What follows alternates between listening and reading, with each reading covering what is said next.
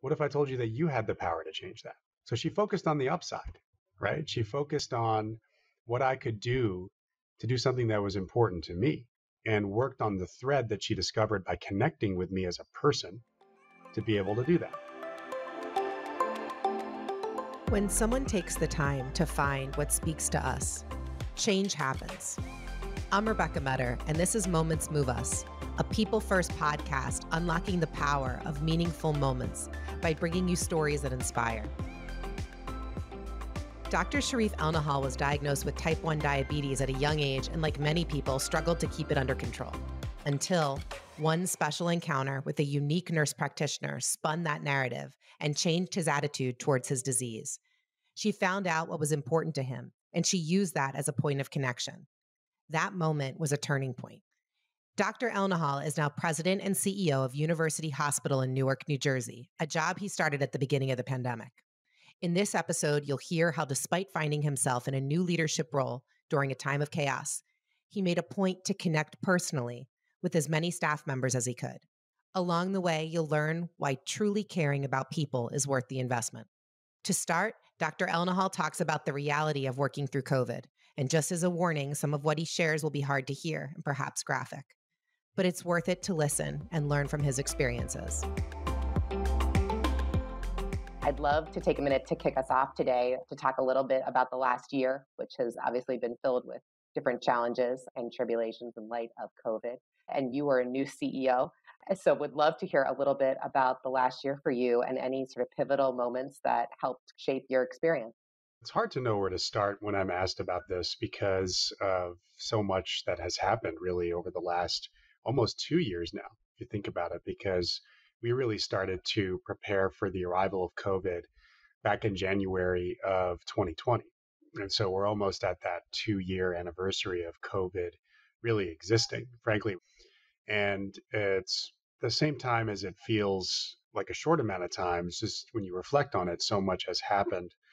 I'll start by saying that clearly the most difficult time for us in an acute way was, you know, the months that span between early March and June of 2020, when we were filled with patients with the disease that we knew little about, with the disease that was killing patients sometimes within hours after they arrived. And of course, that's a you know, acutely very stressful time that we experienced. But in a certain way, it also actually strengthened us as a team. The analogy that I like to make, because I used to treat patients with cancer, is a lot of patients, when they're survivors, tell you that some of the easier times for some folks was actually during treatment when they had their entire support structure with them along the way. People checking in multiple times a day, loved ones by their side, even if they were physically compromised and hurt by the treatment itself and, of course, the disease. The hardest time, actually, for many of them is right after treatment ends, when folks may forget that that support is still needed and in certain ways, that analogy works for the what we experienced. So one piece of data that is interesting to me is that our patient experience scores were among the highest they've ever been as reflected in March through May of 2020. The level of appreciation the community showed us, the fact that police and firefighters from the county, from the city, and the business community, the religious leader community we were seeing something. We had the Blue Angels fly above our hospital, just an incredible display of support. And so, even though we were really uh, hit hard, and more importantly, the patients in the community were hit hard by a devastating issue, we then saw our patient experience scores drop to among the lowest they've ever been in the summer of that year, when I think the burnout was maximum. And when people were worried and wondering whether it would happen again and whether they'd have the stamina to get through it. But in many ways, during that acute phase, we became a stronger team than ever before. And that solidarity, the fact that we all went through it together here, is something that still binds us together, but also something that's causing post traumatic stress in a lot of people. And I just think it's important to make sure that the continuous support that we saw back then for our healthcare heroes continues into the future because there are a lot of stresses now. And in many ways, we're more stressed than we were back then. What are some tactics that you use to come in and help the team feel that they were valued? An important mentor for me once told me that change moves at the speed of trust. And I've always kept that mantra in my head through every leadership position I've had because I knew that in order to get anything done, I would have to gain the trust of people who will actually do the work. There's no leader who will be able to move the needle on anything important by themselves. And anybody who claims that uh, doesn't have real leadership experience, in my view, because without inspiration, without gaining the trust of everybody in the organization, and it's not just the front line, of course, it's the people you have to deputize to make sure that every part of the organization is rowing in the same direction you don't have trust among your staff writ large. And if they don't want you as an individual leader to be successful, which is another thing a different mentor told me, they have to be rooting for you in as much as they're rooting for the mission. Because everybody knows that ultimately the leader either gets all the blame or most of the credit when things go well. That's not lost on people. And the thing is, it's your responsibility as a leader to transfer that support and transfer that credit back down into the organization. And so, you know, one thing I did during the acute surge and I continue to do now, and even before the pandemic, was personally introduce myself to people in as many parts of the organization as possible. I visited uh, nearly every unit of the hospital in my first eight months here before the pandemic really hit hard. And I made sure that everybody around me knew that I viewed my job as one that was primarily working for their success. Because if that didn't happen, then we wouldn't be able to make progress on anything. The one story I, I will never forget is just going on the mother baby unit uh, that we had, which we had to close to moms and babies and make room for COVID patients. And I actually saw a nurse that I met when my wife and I had our third child here in the weeks before COVID hit us very hard. And this was somebody who was excited, relatively new on the team, chipper, you know, really just excited to make an impact for the community. And when I saw her around 11 p.m. one night, when she had a list of patients with severe respiratory disease, certainly an area that she was rapidly trained on over the course of maybe two days, but something that she did not feel she was an expert in. And yet she had to be first to bat for these folks because we needed her to do that. There was nobody else. And if it wasn't her, you would have patients uncovered and uh, she knew that she processed that we needed her and i think she processed the appreciation intellectually but without me being there having that conversation with her and saying that to her directly and listening and allowing her to cry and crying with her frankly i don't think she really would have believed it and i had a lot of moments like that with every type of staff that we have when we were stressed because everybody was on full tilt including joining uh, my team when they had to carry out deceased bodies at volumes that we never saw before. And I put on all the PPE, the bubble suit that you need when you do something that risky to yourself, because these people were doing it every day, just to see what that experience was like. And the respect that we had, that our team had, I saw it myself for every deceased body, despite so many that we were loading into these frozen trucks so that they could be brought with dignity to funeral homes. That was emblematic to me that unless you're there as a leader, unless you understand by being there, you will not gain the trust that you really need to get through a time like that. Wow, that is incredibly powerful. I think about you kind of going from your CEO role, then being on the sort of patient family side when you had your third child, and then seeing that same person sort of subsequently days later after the pandemic began and that shift again so how many sort of hats you had to wear in that and it takes a lot to be able to kind of show humanity in each of those contexts how do you do that the formula for that is simpler than i think a lot of people think because frankly, the easiest way to get trust, in my view, is to be yourself and be true to people about your own vulnerabilities. And it was interesting because, as you mentioned, this was my first hospital CEO job. But I can tell you that no matter how much experience you had as a hospital CEO throughout this country and throughout the world, nobody was prepared for this.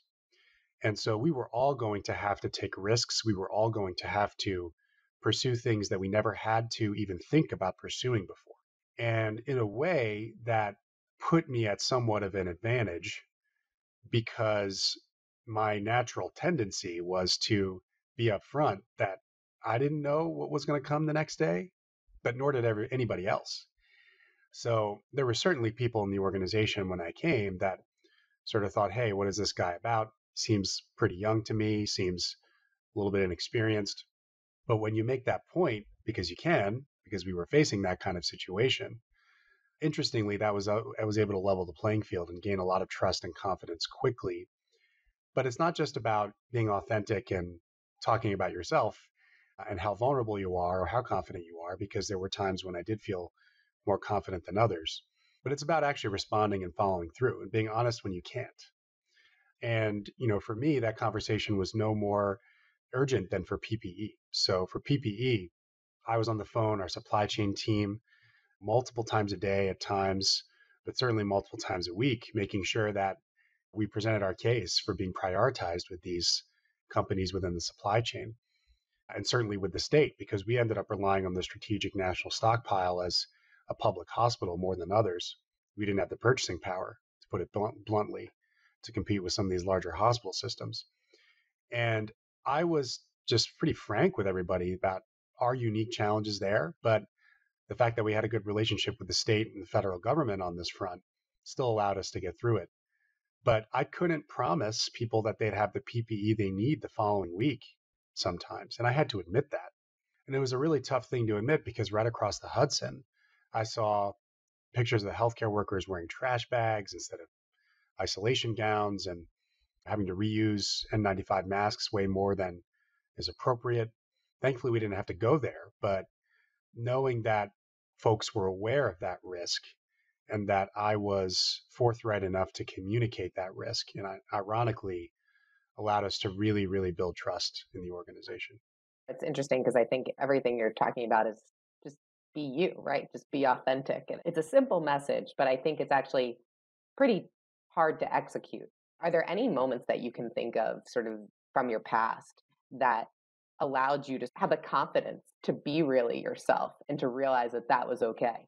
I think our culture sometimes permeates this notion that it's actually not okay to be your authentic true self.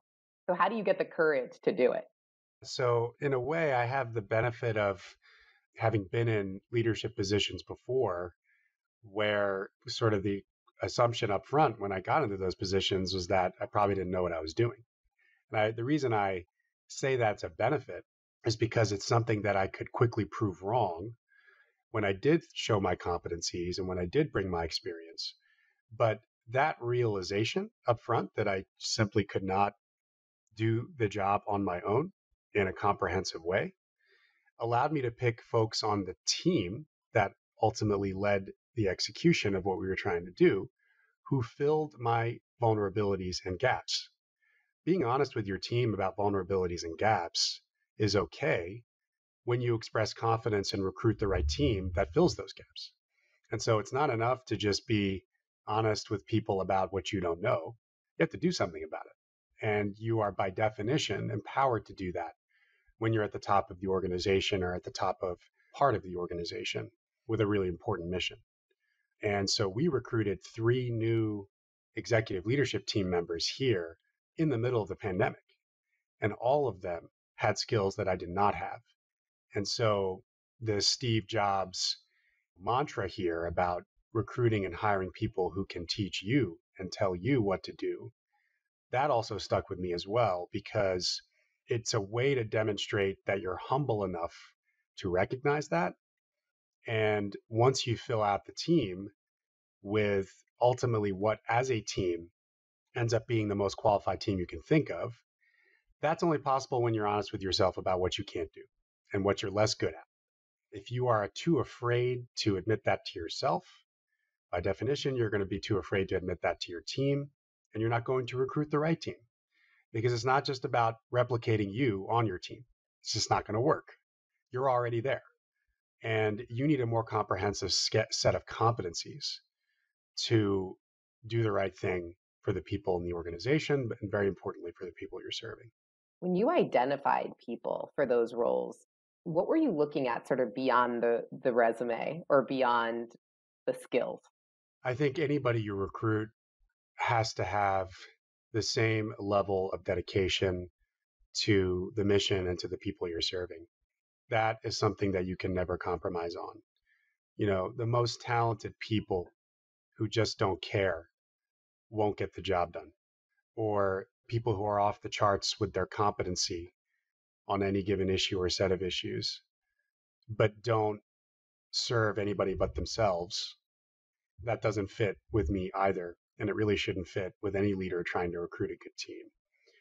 And the only way to get that is by personally interacting with people. And that's that means an interview, but also the way I like to do it is uh, to do so in an informal setting outside of work. Virtual interviews are tougher because it's hard to get the vibe of people, but I understand we've all had to do that in the interim. And of course, approaching references is important, but I've always tried to get references not only from people's bosses, but from people who report to them. Because if you don't get that end of things either, then you just will never get the full picture. And I would have been surprised about how perfect a hire looked until you talk to folks that had to deal with that person and report to them. And so I think all those things can help. And sometimes you don't get it completely right. Uh, and unfortunately, you find that out later on. But the approach of assessing character and dedication to mission in addition to hard experience and you know know-how that's been my approach. And you know i think a little bit about what you were sharing before about trust and and i was thinking about some of the things that i've heard you speak on around health equity and how that might play into trust. Can you share your heart around that and maybe if you can is there a story or a moment that kind of led you to realize that this was a place that you really wanted to make sure that you could sort of share your learnings with others? Yeah, there's a defining uh, moment in my life when I was in college while I was mentoring kids in a diabetes class.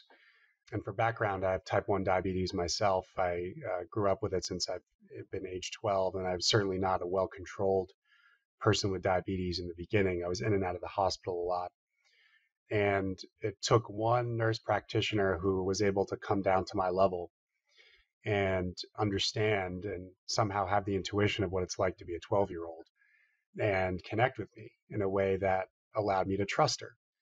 And was this person who really taught me how to manage my diabetes and why it was important and connect management of my diabetes to things I cared about. And among them was the health and well-being of my own mother who's just been devastated for years since I've been diagnosed. She's a pediatrician herself and part of it was that we couldn't get it together despite the fact that she was a pediatrician. And so, you know, she was helpful not in a way that guilt tripped me, but in a way that made me see what was important. And knowing that that was the ticket, it's something that actually really inspired me to become a clinician myself. And so I wanted to pay that experience forward. And I did that with teaching this diabetes class with one of the physicians in a local federally qualified health center in Baltimore when I was in college. And one kid that came up to me after one of the classes, actually the first class that I participated in, and said, Hey, listen, I'm really interested in improving. He was with his mom. Most of the kids there had a guardian with them or somebody who supported them. And they both came to me and said, Hey, you know, do you have time for a couple sessions in private? I have a lot of questions. I mean, of course, I took him up on that and just found how much common ground I had with his experience and was able to rewind into my own life and figure out how hard it was and have perspective on that. And we worked together in a way that was similarly empathic. And we ended up getting his A1C down from, you know, over 13 to just above eight. And it was really, really impressive. But I can tell you that that wasn't enough. And the reason I know it wasn't enough was the fact that he passed away that fall. And he didn't pass away from diabetes or a complication of diabetes. He passed away from street violence. He ended up getting shot on the streets of Baltimore. And it's because he had gotten in with the wrong crowd and, and with gangs. And so my reaction to that was one of devastation. I blame myself for not probing enough into his life. But when you really broke down his life, you understood pretty easily that everything was stacked against him from birth in having a long lifespan. But that was a very telling experience for me up front on what social determinants mean and how the cards of social determinants are stacked against people of color in this country because of the history of racism and the history of discrimination against people of color, sometimes at the hand of the medical system itself, oftentimes, unfortunately. And so I think it's important that we talk about this from the standpoint of history and getting better, because I know there are a lot of public debates now on systemic racism and does it exist and is it insulting to certain groups of people or not. That's not how I view it at all. I view it as if you don't understand what's happening, there's no way you can correct these issues. And I view the gears of government the gears of policy and the gears of management in many cases of anchor institutions like the one I run now here in Newark as major players that can turn the tide on social determinants, especially for people of color and people who are discriminated against routinely. And so you can't think of a place that has more of those issues than right here in Newark. And the fact is, where the capital has gone historically, where the investment has gone since the racial riots of the 1960s has been outside of this community. And you have kids born every day into the zip codes that surround us that simply just have a very statistically lower likelihood of thriving. And economic thriving has everything to do with health. It's just the way it is. And so every position I've had in leadership since my education, I've always tried to view this from the lens of what can we do to give a hand up? And I think we have to take the political discussions out of this and understand that there are so many institutions that have the agency to change this. And the fact that I've had the privilege to do that in different roles has been something that I found to be a blessing Thank you so much for sharing that, Dr. Elnahal. There's no better fuel than thinking about someone who you cared for and what happened to that person as and may their me- memory be a blessing, you know, as a driver for change. And I think it, it needs to be looked at from a policy and big picture perspective. And then I also think about the person who really like she didn't guilt trip you, but she did sort of send home the importance caring for yourself. And I'm just thinking about how do we have more people share moments like that on an individual basis because hopefully as millions of moments can add up to really make a difference while the policies are hopefully being changed and being worked on as well. You know one thing that i remember from my interaction with her was sort of a simple set of questions where she asked me how's your life at home these days? Are you worried about anyone? And of course i brought up my mother and she said, "Do you want to see her get better? You know, do you want to see her be happy?" Because one of the things I told her was that she was unhappy, she was sad about my situation, and I said, "Of course I do. Of course I want to see my my mother happy. I love her." And she said, "What if I told you that you could do maybe two or three things, and we could start with only one of those things this week, and then we can go to two things next week, and then maybe add a thing the following week." That would change that? What if I told you that you had the power to change that? So she focused on the upside, right? She focused on what I could do to do something that was important to me and worked on the thread that she discovered by connecting with me as a person to be able to do that.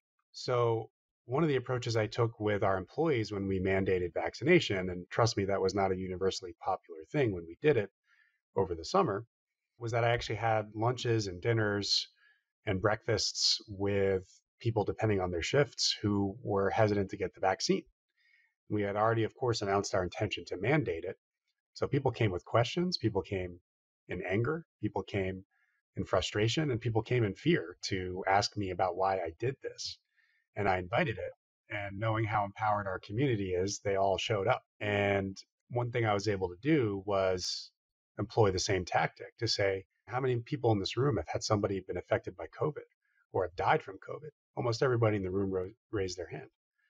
That makes sense in a community where COVID was hands down the number one cause of death in our community and in black and brown communities everywhere in 2020. And so the same tactic. What if I could tell you that simply just getting the shot, and by the way, how stressed are you right now resisting vaccination? Because most people will tell you that it's stressful to think about vaccination, be nervous about it, and you can tell them all of the evidence about how safe and effective it is in the world. But if they're still fearful, that's a stressful state. And so I said, What if I told you that when you get the shot, you'll forget about it and you won't have to think about this anymore? So that actually worked for many more people than I thought. And in most cases, more than half the folks in those sessions got the vaccine within the following week. And then they were able to forget about it and go back to their lives think about other things. So it requires you, though, to care about people enough to spend the time to do it because it's time consuming. Connecting with people consumes a lot of time, but that investment is incomparable in terms of what you get in return.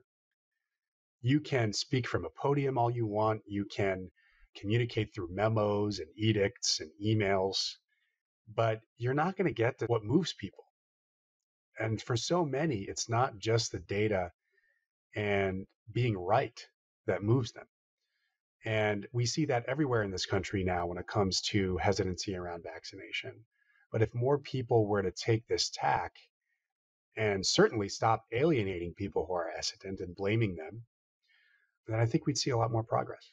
That is so true. And I think the other piece of it is that you actually listened to them and you wanted to know about their experience and maybe why they were hesitant.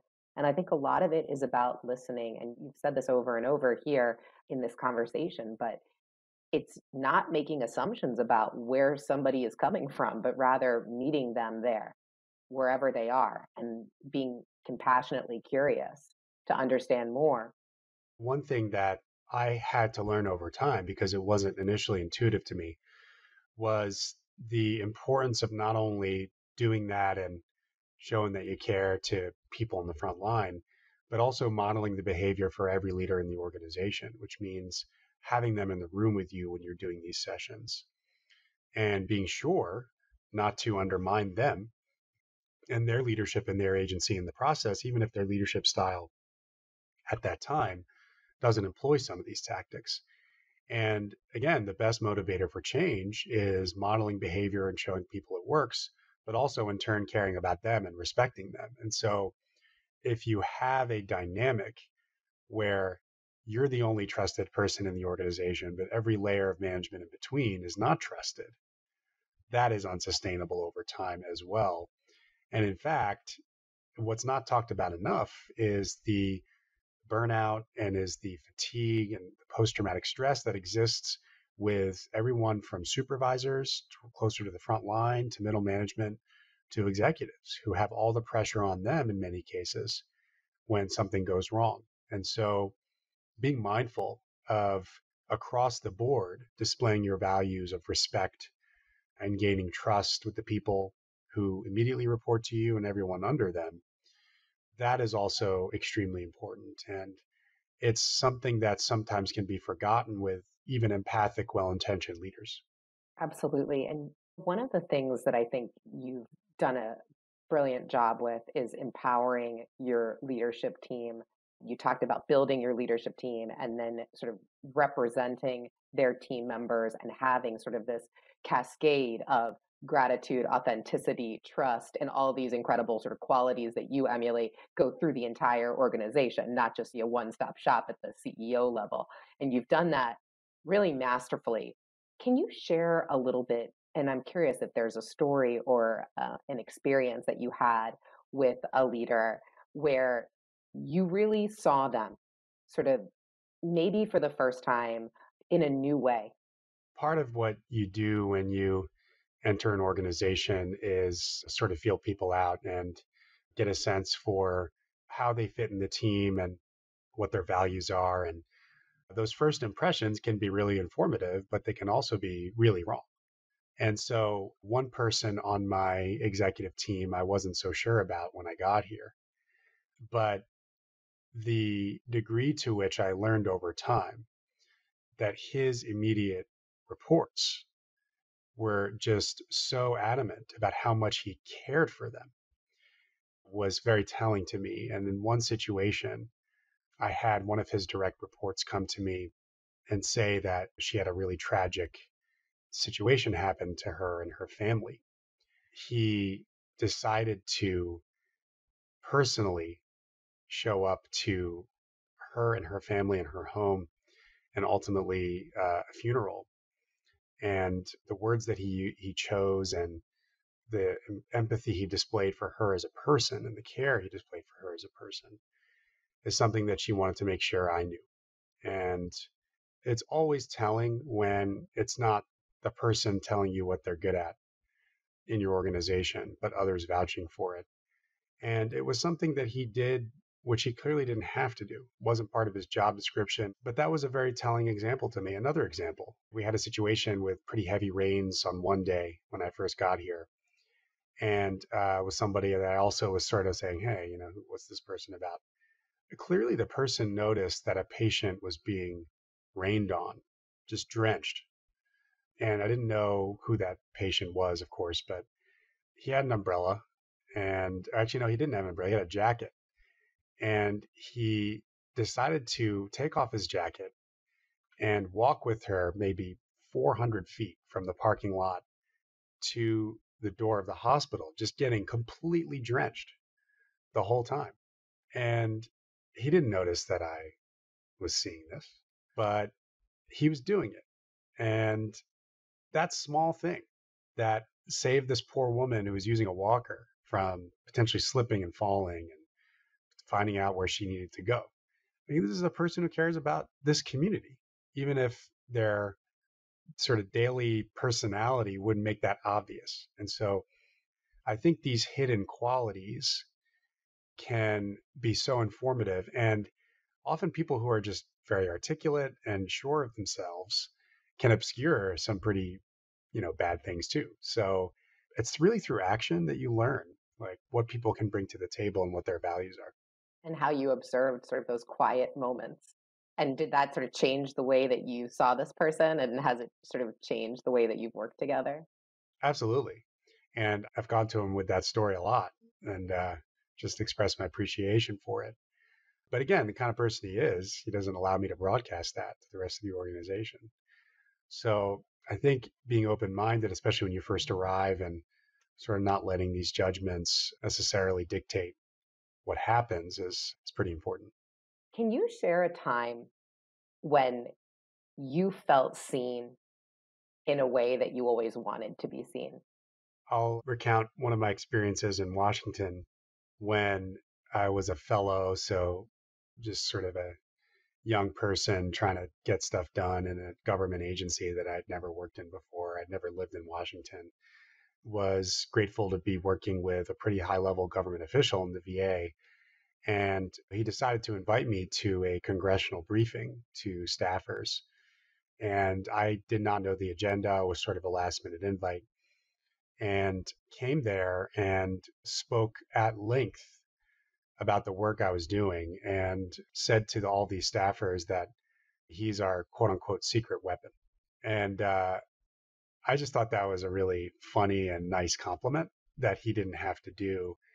And the fact that he didn't tell me he was going to do that made it all the more special because I thought I was just going to be a fly on the wall in that room. Right. And so it's an experience I remember because I know how it made me feel and it reinforced what recognition can do for people. Recognition is often the most powerful currency in an organization. And I use that word currency very purposefully because it's not just about how much you're paid or your bonus or and especially in government, you often don't have those levers to pull. But even in the private sector and even in nonprofits, like the one I run now, it is often recognition that makes or breaks the cohesion of a team and again, that transfer of credit from the person who happens to get it because of their position to the folks that are doing the work and frankly deserve more of the credit because they have done the work. That has to be a diligent thing that leaders do and do it all the time There is no doing that too much. That is something that will sustain the morale. And especially now, as we're seeing the so called great resignation, right? I personally don't think it's just the people who are paying the most that will be able to keep teams together, especially in healthcare. It is organizations with leaders who care.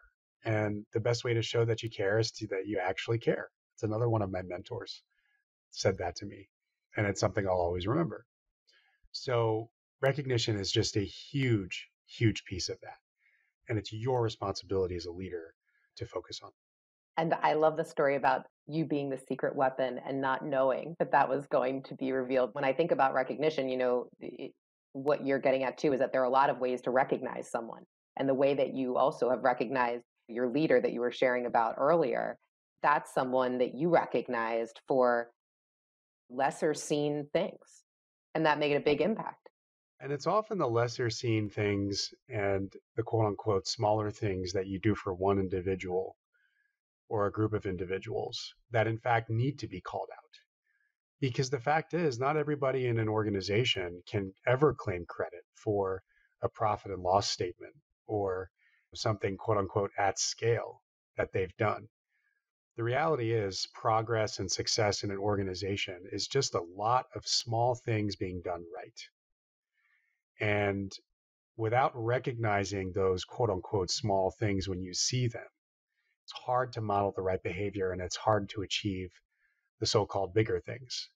All these metrics around quality, around patient experience, around financial performance have everything to do with what the daily experience is of a patient or someone who you're trying to serve is. And that is not you doing it, it is people that you are meant to and have to inspire to do the right thing. Absolutely. And I think so many times we hear people at the bedside when they're complimented or recognized say, well, I'm just doing my job. It's like, well, yeah, but what you see as the mundane or the everyday is the exceptional for so many people. And it goes beyond the clinical care that you're giving. It's it's when you loan somebody a, a, charger whose phone is running out of battery so that they can call their wife after a surgery. It's that environmental services worker who sings to patients when he's cleaning the room. That that experience goes so far beyond just the clinical care that's administered. I'm going to shift now to the last part of our show. And we're now going to take a beat so that our listeners can get to know a little bit more about you, Dr. Elnahal, with some fun questions. So I'm going to start to answer them quickly. You don't need to think too much about them.